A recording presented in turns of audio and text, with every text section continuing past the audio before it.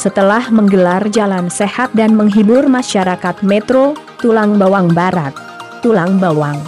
Bakal calon gubernur Lampung Insinyur Haji Arinal Junaidi akan menggelar acara Jalan Sehat di Kabupaten Pringswohu tepatnya di lapangan Kuncul pada Minggu 3 Desember 2017.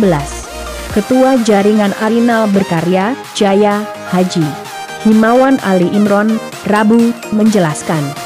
Jalan sehat di Pringswohu akan dihibur artis ibu kota dan lokal yaitu Nasar, Tata Adhata, dan Duo Intan. Dalam acara Jalan Sehat di Kabupaten Pringswohu lanjut Tali Imron, panitia menyediakan berbagai hadiah yang sangat menarik. Hadiah yang sudah disiapkan untuk warga Pringswohu. Antara lain, hadiah utama 8 motor, 10 sepeda, TV, 20 rice cooker, HP, uang tunai dan lain-lain.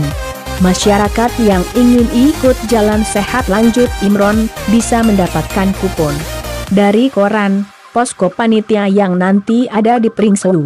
Acara jalan sehat, selain bisa bertemu, mengenal sosok Balongup Lampung Arinal Junaidi yang telah mendapat dukungan dari sejumlah parpol pengusung, masyarakat juga berolahraga bersama keluarga.